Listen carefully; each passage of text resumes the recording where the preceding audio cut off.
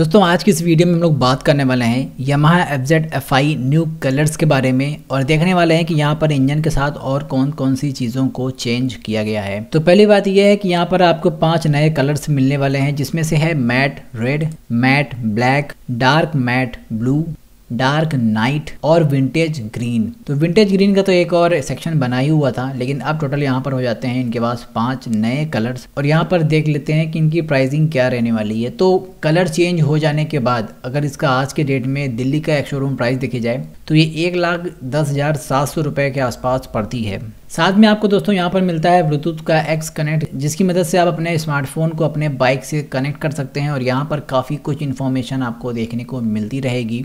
अब इंजन की अगर डिस्प्लेसमेंट की बात करें तो ये बाइक आपको मिलता है डेढ़ सौ के इंजन के साथ, जो कि air cooled four stroke S वाला टू वोल्व का इंजन है।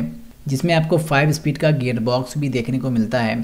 और साथ में अगर बात की जाए यहाँ पर पावर फिगर की तो आपको 12.4 पीएस की पावर ये निकाल के देता है 7250 आरपीएम पर और 13.3 एनएम का टावर निकालती है ये 5500 आरपीएम पर। तो कहीं ना कहीं पावर डिलीवरी के मामले में ये बहुत अच्छी है। मेरे पास इसका एक 2019 का वर्जन रखा हुआ है, जो कि बहुत ही अच्छे से परफॉर्म कर रहा है और मैं उसको आज भी बहुत ही स्मूथली ड्राइव कर रहा हूँ। अगर मेरी बात माने तो इसका जो रियर टायर है वो आपको इतना वाइड मिलता है कि आप उसे देख करके दूर से ही पहचान लेंगे कि ये एक एफजेड आ रही है। क्योंकि एफजेड का जो रियर टायर है, उसे इतना लो प्रोफ़ाइल बनाया गया है। मेरी बाइक में क्या है कि लगभग लगभग एक से एक दशमलव दो इंच के आसपास इसकी ज़मीन से रिम की ऊंचाई है। तो आप मान सकते हैं कि लगभग लगभग एक माचिस की डिब्बी के बराबर इसके रिम की ऊंचाई है ज़मीन से। तो टायर कितना पतला इसमें नीचे की ओर दिया गया है, लेकिन वाइड पीछे से ये बहुत ज़्यादा है। इस बाइक में आपको किक स्टार्ट नहीं मिलता है, सेल्फ स्टार्ट ही मिलता है और साथ में इसमें फ्यूल इंजेक्शन सिस्टम भी दिया गया है। इस बाइक में सिंगल चैनल का एबीएस मोबाइल कनेक्टिविटी के लिए ब्लूटूथ, स्पीडोमीटर डिजिटल में दिया गया ओडोमीटर डिजिटल में दिया गया, ट्रिप मीटर डिजिटल में दिया गया, फ्यूल गेज डिजिटल है कंसोल डिजिटल है फुल्ली साथ में इसमें पास स्विच भी इस बार दे दी गई और क्लॉक भी इसमें दिया गया है डिजिटली लेकिन एक चीज़ से मैं यहाँ पर थोड़ा बहुत डिसपॉइंटेड हूँ कि एफ़ जैसी बाइक में आपको स्प्लिट सीट का ऑप्शन नहीं मिलता है। थोड़ा सा स्टेप तो किया गया है, हल्का सा ज़्यादा नहीं, एक इंच के आसपास का। लेकिन यहाँ पर स्प्लिट सीट होती तो बाइक की जो लुक है वो और भी ज़्यादा इन्हेंस हो जाती। फ्रंट में आपको मिलता है टेलीस्कोपिक फॉक्स, रियर में आपको मिलता है सेवन स्टेप में एडजस्टेबल मोनोशॉक ऑब्जॉर्बर बॉडी पर काफ़ी कुछ ग्राफिक्स आपको देखने को मिल जाएँगे, लेकिन खास करके आपको फ्यूल टैंक पर ही ग्राफिक्स मिलते हैं। तेरह लीटर की इसमें फ्यूल टैंक की कैपेसिटी दी गई है और इस बाइक का टोटल वेट लगभग 135 केजी के आसपास है। इस बाइक में आपको एलईडी की हेडलाइट एलईडी की टेल लाइट लेकिन जो इसमें टर्न सिग्नल है, यानी इंडिकेटर वो आपको हेलोजन के बल्ब ही दिए जाते हैं। टायर साइज़ जैसे मैंने आपको बताया था कि फ्रंट में आपको मिलता है 100 80 17 का टायर जिसमें आपको दिया गया है दो सौ mm की डिस्क और रियर में आपको मिलता है 140 साठ सत्रह का टायर, जिसमें आपको मिलता है 220 mm की डिस्क। तो कहीं ना कहीं ये एक बहुत ही बेहतरीन पैकेज हो जाता है कि इसमें आपको रियर में 240 mm का टायर मिल जाता है वाइड। यूज़र रिव्यू की बात की जाए तो मेरे पास ये अभी लगभग लगभग डेढ़ साल के आसपास हो चुके हैं और मैं डेढ़ साल से इसे राइड कर रहा हूँ। इसमें मुझे आज तक कभी भी कोई ख़ास परेशानी नहीं आई है।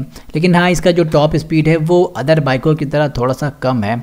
यहाँ पर मैं 150 सीसी के सेगमेंट से लगभग 132 की स्पीड तो अचीव करना चाहता था लेकिन यहाँ पर ये ज़्यादा से ज़्यादा 115 से लेकर के किसी किसी के 118 तक जा पाती है बस। लेकिन मेरी 115 से ऊपर आज तक कभी भी नहीं जा पाई है। एक चीज़ जो मैंने आपसे कहा था कि इसमें इंडिकेटर हेलोजन के दिए गए हैं, वो लास्ट वाले वर्जन तक दिया गया था, लेकिन इस न्यू वर्जन में आपको हेलोजन की जगह पर एलईडी वाले फ्लैशर लाइट दिए गए हैं इंडिकेटर में, और इस बार टैंक पर पैड भी दे दिया गया है। और साथ में स्किट प्लेट भी दी गई है, जो कि आपके सैलेंसर के मफलर को जो नीचे होता है, बेली सैलेंसर उसे बचाता है। जबकि मेरी बाइक में, जो कि अभी तक मैं 2019 से चला रहा हूँ, उसमें ये स्किट प्लेट नहीं दी गई है, जो कि सैलेंसर के बेली पैड को बचा सके। और साथ में मेरी बाइक में रियर में फुटरेस्ट नहीं है, जो कि अब इसमें रियर में फुटरेस्ट दे दिया गया है। तो काफ़ी कुछ चीज़ें बदल दी गई हैं मेरी बाइक से, जो कि पुरानी है 2019 की और अब 2021 की। यहाँ पर आपको यूएसबी के चार्जर भी हैंडल पे माउंटेड दिए जाएँगे, जो कि इसे थोड़ा और ज़्यादा इंटेलिजेंट बना देता है। आप इसमें अपने स्मार्टफ़ोन को भी चार्ज कर सकते हैं।